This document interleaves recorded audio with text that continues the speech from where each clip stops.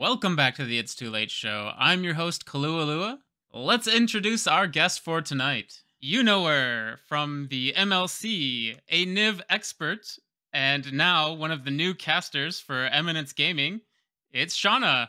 Hey, Shauna, thanks for joining us. I went zero and nine in the MLC. I should have asked you to take that out in post. Oh God. yeah. Uh, Okay. It's not All all, right. your fault. You were a replacement, so. Yeah, yeah. I was hoping people would forget about that, but you know, it's fine. It's fine. Yeah. How was your uh how was your drive across country? Did you uh So no one that I know of got injured. Um, I'm at the amount of accidents that I shouldn't be allowed on the road anymore. But Oh, um, okay. yeah, I watched the entire. I rewatched the entirety of Avatar: The Last Airbender on the way down, Mm-hmm. and on the way back, I just did nothing. So you know, it was pretty boring. But we made how it. many uh how many days did you do it in? 3? So on the way, I did three, and I made it like stops at hotels, and I was very smart about it. But on the way back, I was like, you know what? I don't want to take it like in three days, so I did in like a, a day and a half, and slept in my Yeah. car. it was really great. yeah. Nice. Let's start with your most recent event. How was uh Chaos 4 for you today? So Chaos Four was really interesting to me today. I had my first game ever where I didn't recognize any of the commanders. I was playing against Jetmir, House of Rebels, or something like that, and I was playing against the new Jodah, um, which is ridiculous, by the way. And I was playing against whoever the last one was. I'm blanking on it, but it was basically three creatures. Oh, Gaddock Teeg. It was a Gaddock Teeg. I've never Oh, played really? against a Oh Gaddock Teeg deck in my entire life. I've been so fortunate, Yeah. I sat down and I was like, okay, so this is just three creature decks, and I'm gonna kill myself. And then I immediately get Thorn of Amethyst did Yeah. by by the Gaddock Teeg player, and I'm like, okay, my my spells are useless. And uh, it was it was pretty annoying, pretty annoying. Um, There was a lot of that, a lot of um, a lot of creature heavy decks, which I don't do very well against. I have I have the occasional bounce spells, but creature heavy decks always have some kind of early stacks that lands faster than I can land Niv. So there's Yeah. always like a Collector Ouphe here or there that prevents me from. My entire Niv package is artifact based, so if you have any kind of null rod or oof effect, I am doing nothing that entire game. Mm-hmm. And Niv is my only way to get rid of creatures, and they were all creature based. So Yeah, I died. I died to many a warrior, many a Najeela, and many a Winota for sure. Mm-hmm. How'd yours go? Let's see. I went one loss and two draws and then I dropped from the tournament, so That was me too. uh that was me. I could have won one of them. There was an ouphe in play and a Grafdigger's Cage, and I tried to breach. So I I cast Chain of Vapor on the uh the Grafdigger's Cage, and then and then I cast Breach, and then I was like, oh, I'll replay Chain of Vapor from my graveyard to get rid of the ouphe. But then I only had uh I had a Swan Song to uh, protect it, but it wasn't enough. So I uh, tried to come up with some other line, fumbled for about 20 minutes, and was like, well, I just lost this game. So Was it the ouphe player who stopped you from removing the ouphe, or was it a different player? it was a different player. Okay. It was uh, a Malcolm Tana, maybe? Yeah. Sucks to see it. Yep. Yeah. I had a similar issue where I was using a chain of vapor to both bounce my own dockside to go from three treasures to like eleven to cast Niv, and sacrifice the gemstone caverns, obviously colorless mana I don't need, uh, to uh, copy the chain of vapor through a rule of law and bounce my opponent's Drannith Magistrate. But they Yeah. had uh, like brave the tides or brave the elements or something like that. Something that chooses a color and gives creatures of your creatures that you own protection from that color. And Mm-hmm. it was a Winota deck who was just like randomly run- running this white protection card that I've never seen before. And I was like, Yeah. what are the odds of that? And then I go to uh, later when I'm getting lethaled by uh, Winota and this other thing that's like it's like four white or red pips and it gives attacking creatures you control double strike and you just Winota trigger it in. And I was. Trying yeah. to I was trying to kill it and he had Tibalt's Trickery and I'm just like, You have the nuts. Like you have two pieces of interaction in your deck and you drew both of them. I'm so happy for you, but also Yeah. it was quite upsetting. So since you're kind of known as a Niv player, That's me. is it okay if we kind of look at your your deck list and kind of do a, a deck check? Sounds good. I'll put it up on the screen for the people watching this. Great. Let's go over your creatures. Sure. The one that sticks out for me is the Goblin Matron. What are your your thoughts on on playing that to get the uh, the dockside out? Yeah, it's done nothing but overperform for me. Uh, there used to be, um, there used to be even more of a dockside package in here when I had Goblin Recruiter out, but mm-hmm. Re- Recruiter obviously is meant for more of a snoop line, and it also puts it to top instead yeah. of into your hand. Mm-hmm. So uh, while I do like that for, you know, if if you tutor something to your hand and your opponent sees it and attempts to wheel you out of it, Goblin Recruiter does get around that, but there's I almost never get wheeled in CEDH in general, just because they're so taboo at this point. Yeah. Um, and it's just not a, it's not a likelihood for a reason to keep it in.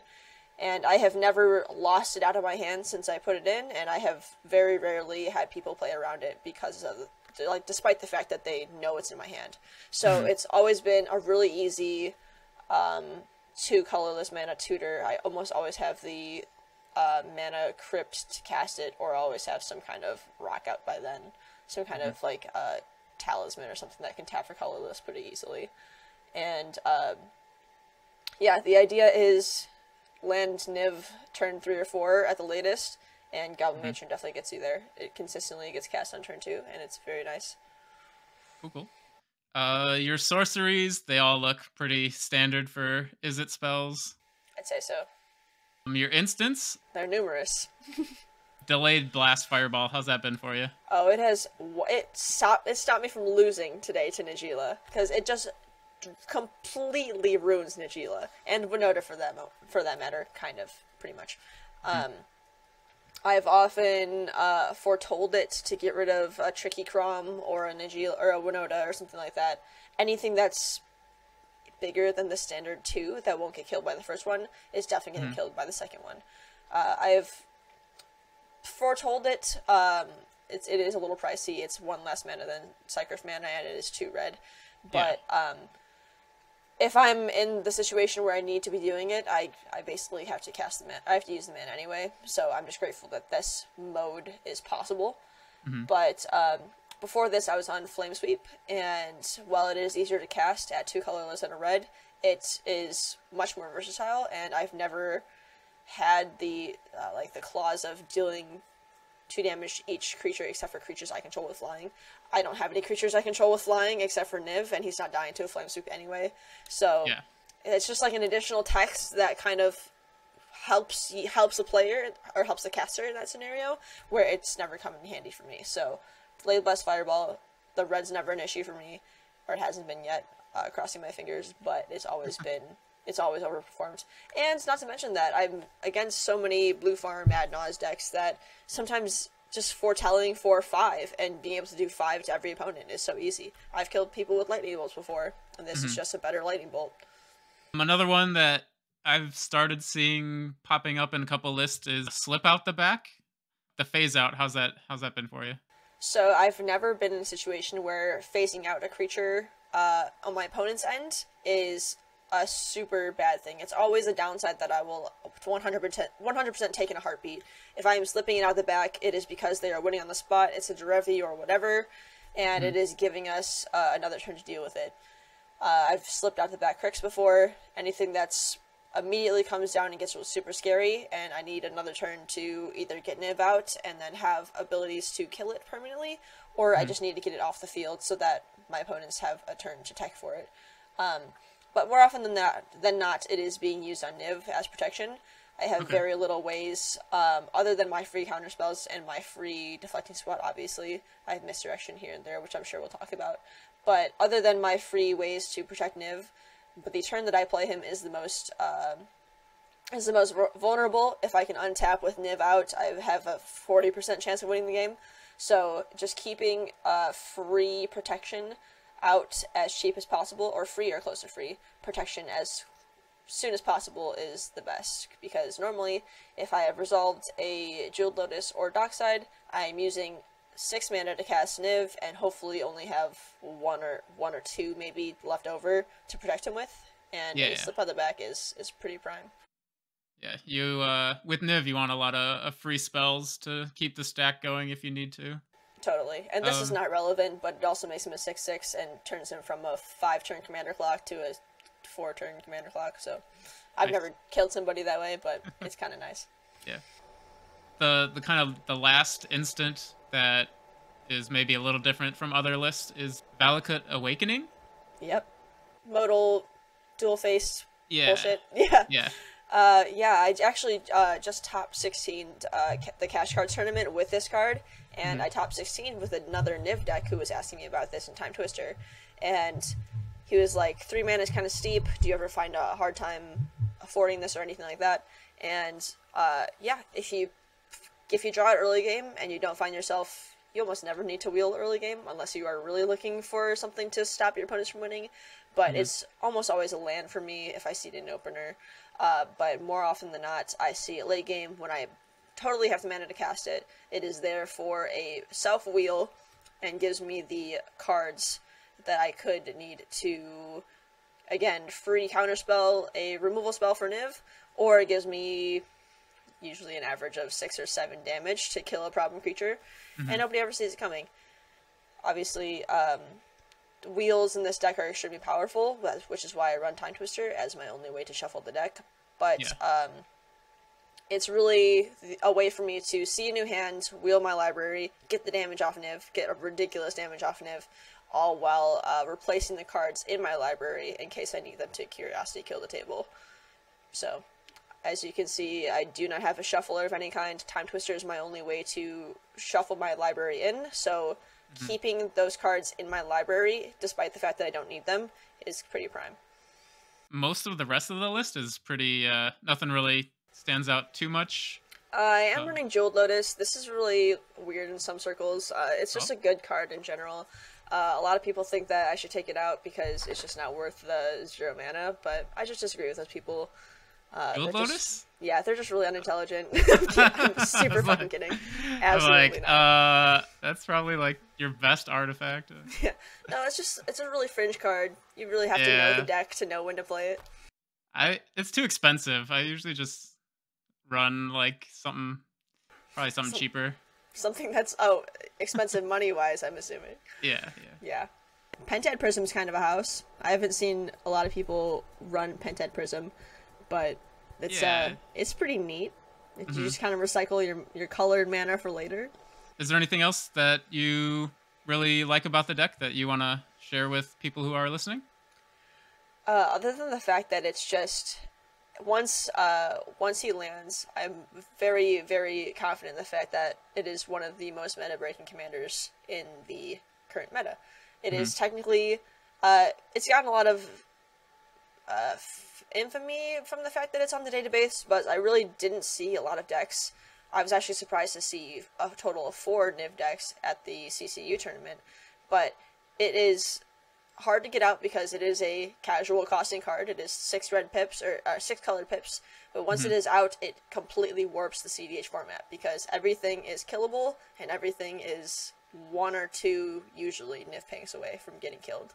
So if you're Yeah. ever on the fence about getting into CDH or you just don't find yourself uh, connecting to any decks that are out there, you think they're all ad nauseam piles or they're all peer into the abyss piles that are too complicated and you don't know your breach lines, please go for Niv Mizzet. It is a completely it runs itself. You just get to draw a bunch of cards and get a bunch of triggers. You get to be involved in the game in a way that other commanders don't let you, and you just get to play a big dragon and swing at people. yeah. A lot of uh, a lot of Malcolm decks have started playing it in the 99 just because it's uh once you get it out, you win the game. So Oh, I'm aware. I've been, I have been, ugh, I've seen so many Malcolm Niv Mizzets from Yeah. either Neoforms or Magda or they- something. or Magda or something like that. Yeah. I almost got Magda today, but my trusty Grafdigger's Cage stopped from happening. So nice. very fun, Nice. very cool and fun. Let's go back a little bit in time. You talked about the King Cash Clash, the rumble across from Benihana Jungle. Oh yeah, Uh, I'm talking about the uh, the Black Lotus CEDH tournament. that's the one. I heard uh, you did pretty well on that. How did it How did it go? Yeah, I uh, I got top sixteen. I and I went into top sixteen with a three two one uh, record, and they did the same thing that we saw today at the Sadnos tournament, where you get five points for a win and one point for a draw. And so I was sixteen points going into the final. I was fourth seed, and um, with the with the guys or with the tournament prizing the way it was. Obviously, being higher in seed really benefited you because if you get to time top, uh, top four pod, whoever wins get the gets the Black Lotus, but then it goes in seeding from there. So. Mm-hmm it keeps you from getting that Imperial Seal. But I got into my top 16 game. I was playing against uh, Malk, or sorry, Thrasios, Rograkh, Polytyrant. I was playing against Tymna Thrasios, Tymna Thrasios, and I was playing against Brago. And um, at one point, they had all resolved a Rhystic Study, and I had resolved Niv. So mm-hmm. there was a couple of turns towards the end of the game. I think the last three turns where we had an average of 20 cards in a, in everyone's hand, and it was a pretty ridiculous game. One that you like. every single turn, a win was presented because everybody had their deck in their hand. Yeah. And then it finally got around to me, and I resolved the tandem lookout and completely punted. I um, resolved tandem lookout immediately. I must have thought for an instant um, that Niv had summoning sickness and that I couldn't swing with it, and so I said, "Main phase two. And then I said, "Fuck, wait, can I go back, please? Like, I need, I need to go back to combat and win the game." And obviously, yeah. the table knows this. And then the judge said, "No, you cannot.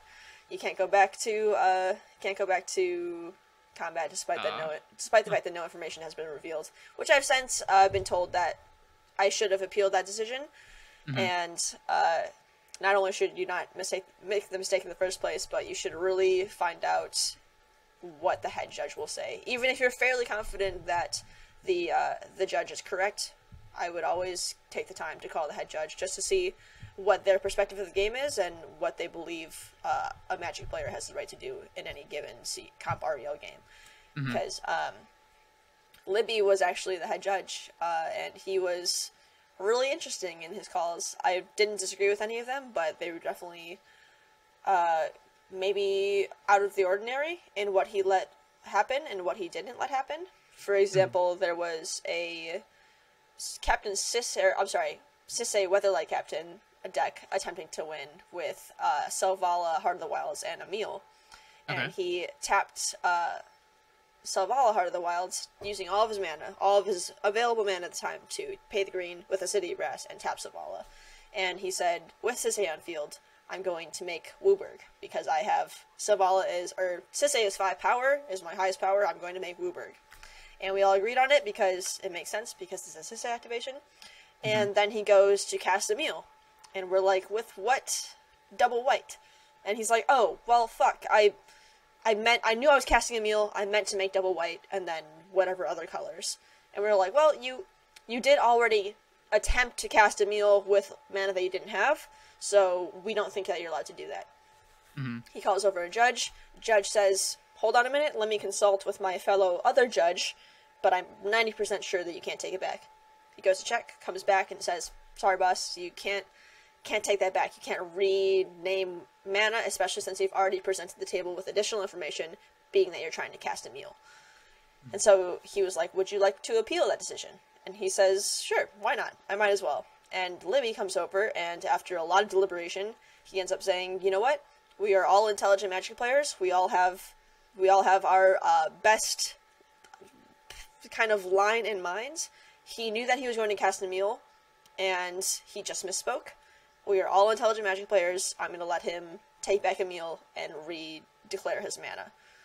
Um, mm. especially since the table has not presented any extra information. So, in in that case, I definitely would have thought that he would be shit out of luck because he has presented extra information. And in yeah. my case, I didn't. So, because uh, it would be a different story if I had moved to main phase 2 and my opponent had said, well, in response, I'm going to kill Niv. Or in response, yeah, I'm going to kill yeah, Tim Lookout. But they didn't. Mm-hmm. And so, you know, always ask your judges. Were there any prizes for the place that you got in the tournament? Unfortunately, not. They were oh. definitely they were to- they were tossing around ideas, uh, but I kind of like the fact that they kept it to just the top four because mm-hmm. the top four prizes were ridiculous. I mean, you had a Imperial Seal as the fourth um, option, and then as the third option, you still had a Judge Promo Gaea's Cradle, a three thousand dollar card with some extra like Ikoria booster boxes or something like that, and then you had the um, Time Twister along with a bunch of other cool goodies and then you mm-hmm. had the Black Lotus. So it's a I want to say it's the most prize support I've ever seen in a tournament. I can't name anything that has been close to it, and because of the turnout, they're going to continue to uh, make tournaments like that with Frank and Sons. So it's pretty exciting. I think yeah, for prize support, that's probably the craziest uh, prizes that I've I've ever seen. So. Yeah, and it was big enough to have 110 people say, you know what, I'm willing to pay $300 to try to get up there. You know, mm-hmm. and there were some people that definitely weren't uh, like avid CEDH players. There were some people that were just bringing their best casual deck, and there were some people that were bringing a CEDH deck shell, but we're both, but we're running like Bow of Nylea in their Captain Sisay deck, you know, sort of yeah. things. So, you know, everybody definitely wanted a shot at it, but they were going about it in really different ways, which was really exciting to see. Uh, let's go back even further in time. Uh, we hinted at it a little bit earlier. Uh, you took part in the MLC, Major League Commander, run yes, by Callahan from the Mind Sculptors. Yes, sir. You said you went 0 and 9. How? uh I went 0 9 and 1. 0 9 yeah. and 1. yeah. What uh yeah. what decks did you have available to, so to? I had uh I'm just going to look it up real quick. Mm-hmm. Um because I knew I had four color farm, which was mm-hmm. uh Tymna and Kraum, and I had four color uh, mid range, which was Tymna Tana, and mm-hmm. then I had Yep, I had uh, Rakdos Worldgorger Dragon, which was Kroxa Titan of World Hunger or Titan of Death Hunger, and I had yeah. Grixis Wizards, which was Inalla. So uh, I ended up I actually didn't draft these decks. I ended up taking over another player's decks when they had dropped after the first week. Um, mm-hmm. And unfortunately, despite what they were trying to do to help me kind of fudge the rules a little bit, I wasn't able to change a single card in their lists. So I'm oh. pretty sure uh, Tymna Kraum was running like Embercleave or something like that. Mm. Um, things that I just wasn't sure about. But other than the occasional card here and there, which I can tell maybe was a pet card or a certain include based on the meta, they were pretty mm. solid decks. I mean, they're pretty solid lists. Um, it was. Have you kind of, have you played any of those before? I had never played any of those before. so I immediately got into it and I was like, I have seen these decks win. I have played against these decks but obviously nothing prepares you for actually having to present win with a deck that you have no idea what it's doing. Mm-hmm. Um, and I definitely meant to practice more with them, but that didn't happen. So, um, yeah, I went into most games, uh, kind of doing my best in terms of I know that this is the correct value play, and this is the for any deck this play would get me the most cards, or this would get me this would set my opponents the most behind. Uh, mm-hmm. So if I play like this, um, I am guaranteed to further my board state, or so on and so forth. But mm-hmm. uh, when it came to accruing value was easy, since that's pretty simple in Magic. But when it came to actually like running through breach lines, I have no clue what I'm doing. So if anything, I'm pretty grateful for it because it gave me a lot of knowledge that I needed to kind of like I didn't I had no idea how Inalla won before. I just knew that it was bad, and I knew that it was like going to present a win very early. But mm-hmm. when it came to the actual Spellseeker line, I was completely clueless. yeah, and tough. Yeah, and uh, it just gives you a lot of perspective that I wouldn't have had had I just drafted a bunch of decks that I was familiar with. So mm-hmm. uh, I definitely didn't l- win a single game because I had no clue what I was doing. But now I do. I know exactly how all of these decks win, and I know what their what their game plan is. Mm-hmm. I know that uh, four color mid range basically can't win without creatures on board. It needs to it needs something to farm, and four color farm needs something to farm. It needs something to sack and keep the keep the um, the Adnais or Peer into the Abyss available. And four mm-hmm. color mid range, just like Dylan from Play to Win's Blood Pod, needs something to neoform or not neoform needs something to breeding pool or ship away in some kind. And Inalla needs three mana and a spell seeker. Mm-hmm. So, uh, and Worldgorger Dragon is ridiculously easily interrupted. You can just completely yeah, fuck yourself. uh, it's a dangerous line to, to play. Uh, the Worldgorger Dragon.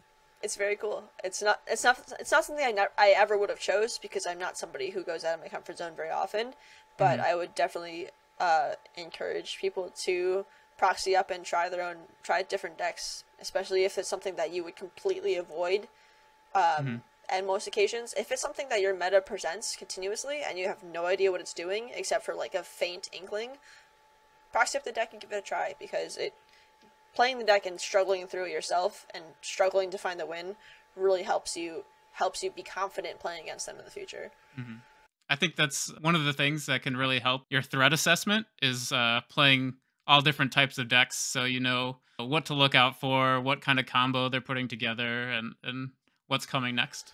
Yeah, there was a game that I played with Dylan's Blood Pod where I had wiped his board thoroughly with Niv triggers, and I was still pinging his face because I was so terrified of Blood Pod's overall explosiveness and conti- uh, like ability to continue to present a win. So I was hmm. just pinging his face trying to kill him. Meanwhile, Modnan was over there on Cody, just like breaching me into oblivion. And I'm like, oh, so now I know if Dylan has on Blood Pod has no creatures on the field, I have literally nothing to worry about because he cannot win. yeah. So I should have been pointing those triggers somewhere else and possibly killing Dan. Yep, always kill Dan first. Always kill Dan. So you are now a caster for Eminence Gaming. How That's me. How did that come to be? So I think uh, it started when CVH dad Mike uh, was hosting Punt City, and mm-hmm. I was obviously still living in LA, uh, trying to make things work with LA rent. so he contacted me and was like, "Hey, we really want to get you out for our first event. It's Punt City. It's super fun. We want you to bring Niv and you know have a good time." And I was like, "Holy shit, this is such an honor!" Like he was yeah. willing to like help me find rooming and or boarding stuff like that. Um, but I was like, there's just no way I can make this happen. It's like a $500 plane ticket alone to get across the country. Yeah. And uh, I was just really busy with work at the time, so I just couldn't pull it together. And he was like, no problem. Let's see you at the next one. We're hoping to host some West Coast events next year, 2023. Mm-hmm. So we'll definitely get you to those. And it was a really nice introduction from somebody that was just trying to get their tournament on the map. And they more than did that with Punt City. Mm-hmm. Um, so then Mike later actually reached out to me thinking that I was, with the knowledge that I was still with Command Zone, and said, hey, we are looking for a caster to uh, host some uh, tournaments next year, an average of four to five uh, mm-hmm. tournaments a year. Would you like to cast for this? Um, and we know that your relationship with Wizards is, you know, up in the air because you work with Command Zone, and you may not be able to work with us because of your because of our use of proxies. So mm-hmm. we completely understand that uh, that may bar you from doing so. And I'm like, yeah, it would have if I was still with Command Zone and I wasn't currently on the path to leaving. I would definitely not be able to work with you. But because of this random, now well, random, kind of like perfectly timed decision to distance myself from Command Zone, I was able to work with Eminence. So that was like a kind of the best of bad situation kind of thing. So I really was happy to hear from them, and Mike is an awesome guy. And as much as much as I don't like to say it, Mikey and Zane are good too. So yeah, you, you, gotta watch out for the cabal that uh, they're running over there. It's a cult. It's terrifying. Yeah, yeah it is. I'm not with them. yet, yet you're not with them yet. We'll be right back after these messages to see if Shauna can become a Kaluanair, so stick around.